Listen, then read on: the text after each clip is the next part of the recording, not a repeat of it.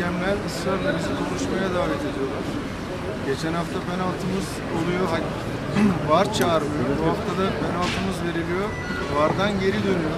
VAR'dan geri dönmesini gerektiren bir şey varsa orada bildiğim kadarıyla e, hakemi aldatmaya yönelik bir hareket olması lazım ya da bir elle oynama lazım. İkisi de yok.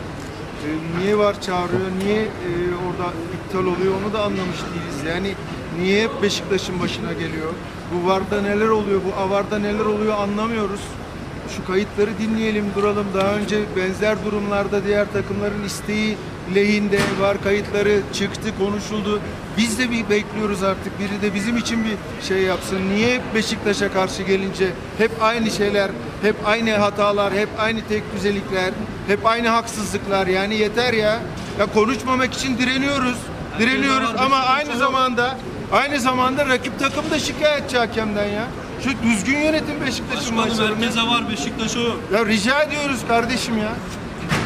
Varda kim var diye soruyoruz. Serkan Tokat. Metin Tokat'ı hatırlar mısınız? Sergen'in frikik golü vardı. Rakip elle kesmişti. O golü, o penaltıyı vermeyen hakem.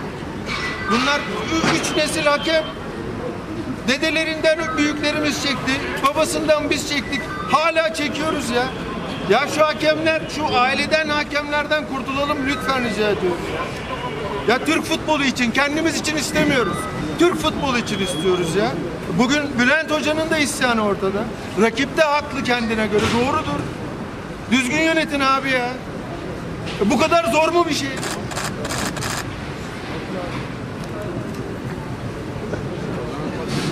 Kazanan takımı tebrik ediyoruz. O da eleştiriyor. Biz de eleştiriyoruz ama bizim eleştirimiz bugüne değil. Geçmişe dair yapılan haksızlıklarla alakalı, uzayıp gelen haksızlıklarla alakalı. Oyuncumuzun diz yan bağı kopuyor, sakatlanıyor, sarı kart yok. Rebiç'e arkadan kasti tekme var, kırmızı kart yok. Geçen hafta verilmeyen penaltı var. Bu hafta verilen penaltı var. Bardan geri dönüyor. Niye hep Beşiktaş'a karşı? Yani bize bunu biri açıklasın ya. Yani yıllardır niye hep Beşiktaş'a karşı? Geçen toplantıda da söyledim. Hakemden gol yiyen bir takımız biz Beşiktaş olarak. Adam arka direğe deper attı, gol attı ya bize. Ama aynı şey devam ediyor. Verilmeyen net bir penaltı var yıllar önce yine aynı şey.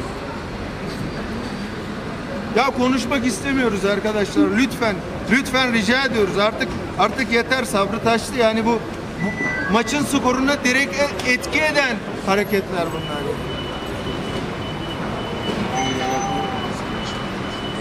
Geçen hafta söylediğimiz gibi bundan sonra bu hafta içinde yönetim kuruluna bir briefing sunacağız. Bir eski hakemimiz çok değerli bir hakem rapor verecek bize. Bugüne kadar olan şeyleri de derlemiş, toplamış. Bundan sonra hakem istatistiğini bütün dostlarla paylaşacağız. Kim nerede ne yönetmiş, ne yapmış mecburuz. Onlar şeffaf değil ama biz şeffaf olmak zorundayız. Buradan yürüyeceğiz dostlar. He, sakın ola ki yanlışlıkla bize bir avantaj sağlamasınlar. Bizim onlara ihtiyacımız yok. Beşiktaş takımının hakeme ihtiyacı yok. Beşiktaş takımının Türk futbolunun doğru yönetime, doğru düdüğe ihtiyacı var. Bu şekilde yürüyeceğiz. Bundan sonra sizinle her şeyi paylaşacağız dostlar hakemler.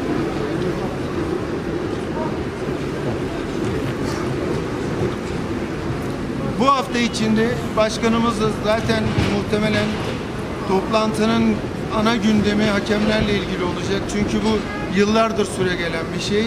Artık yeter, artık yeter. Yani eee, Sayın Başkanımız da bir artık yeter dedi. E, biz de bir artık yeter diyelim yani.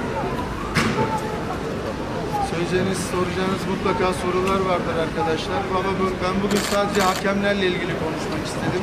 Çok teşekkür ediyorum. Çok yüreğimiz yanıyor dostlar.